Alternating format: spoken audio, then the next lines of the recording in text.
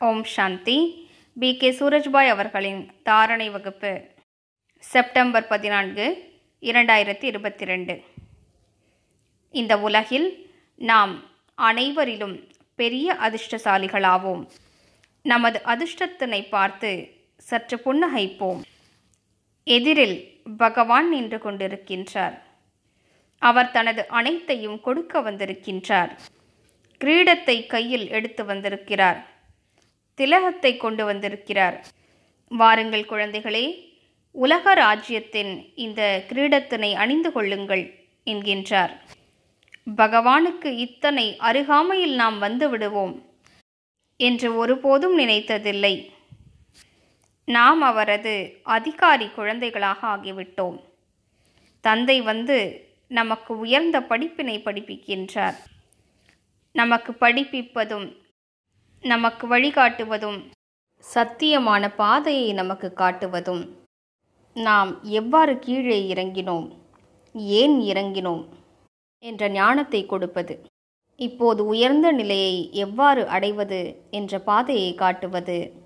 இவைகளே அவரது மிக உயர்ந்த கருணையாகும். அவரது ஆசிர்வாதங்களாகும். எனவே நாம் படிப்பின் மீது மிகுந்த கவனம் செலுத்துவோம். நான் காட்லி ஸ்டூடெண்ட் சுயம் பகவான் எனக்கு படிப்பிக்கின்றார் என்ற பெருமிதம் இருக்க வேண்டும்.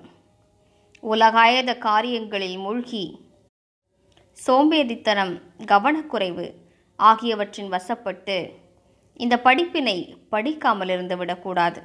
நாம் அவசியம் படிக்க வேண்டும். படிப்பே நமது வாழ்க்கையாகும். நீங்கள் இந்த படிப்பினை படிப்பதற்காக ஈஸ்வரிய மகா வாக்கியங்களை கேட்பதற்காக சேவை நிலையத்திற்கு செல்கிறீர்கள் என்றால் உங்களது சிந்தனைகளில் மாற்றம் ஏற்படும்.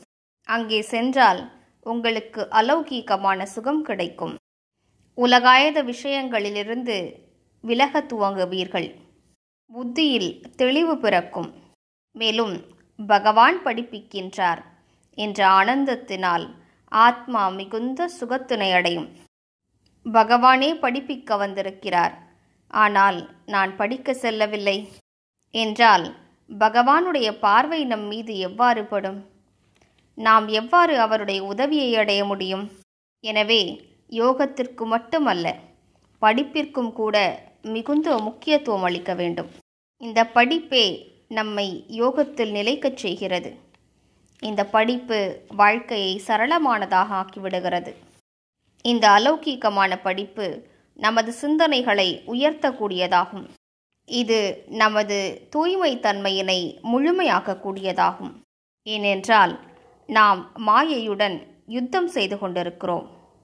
இந்த யுத்தத்தில் நம்மிடம் பல ஆயுதங்கள் இல்லை என்றால் மாயையுடனான இந்த யுத்தத்தில் தோல்வியடைவதற்கு வாய்ப்பு இருக்கின்றது. யார் அனுதினமும் படிப்பை படிப்பதில்லையோ அவர்கள் மாயை மீது வெற்றியடைவதில்லை. ஞானத்தின் இந்த ஆயுதங்கள் மிகுந்த அவசியமானவையாகும். எனவே அணுதினமும் இந்த ஆயுதங்களையும் இந்த குண்டுகளையும் நிரப்பி வைத்துக்கொள்வோம் இவற்றின் மூலமாகவே நாம் மாயையை வெல்ல முடியும். ஏனென்றால் மாயையினை வெல்ல வேண்டியது நமது பரம கடமையாகும். மாயையை வெற்றியடையும் போதுதான் தந்தையின் அன்பு நமக்கு கிடைக்கிறது. ஏனென்றால் தந்தையாக ஆசிரியராக பரம சத்குருவாக அவர் நம்மிடம் வந்திருக்கின்றார்.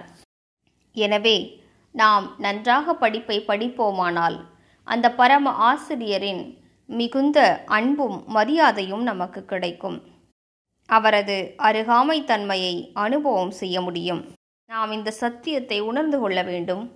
பாபா சூக்ஷ்ம ஒளி உலகிலிருந்து பல முறை தனது குழந்தைகளை பார்க்கின்றார் திருஷ்டி கொடுக்கின்றார்.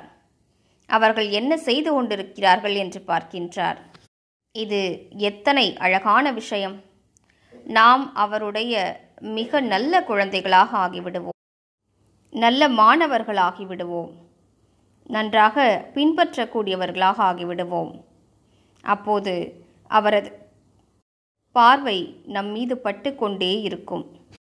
இதனை சாதாரண விஷயமாக கருத வேண்டாம். இன்று முழு நாளும் பயிற்சி செய்வோம். சூக்ஷ்ம ஒளி உலகில் பாபா இருக்கின்றார். அங்கிருந்து நம்மை பார்த்து கொண்டிருக்கின்றார். அவரது கண்களிலிருந்து நெற்றியிலிருந்து உயர்ந்த அதிர்வலைகள் வெளிப்பட்டு நம்மிடம் வந்து கொண்டிருக்கின்றன.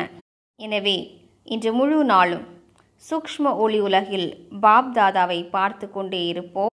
மேலும் அவரிடமிருந்து உயர்ந்த சக்தியினை அடைந்து கொண்டே இருப்போம். ஓம் சாந்தி.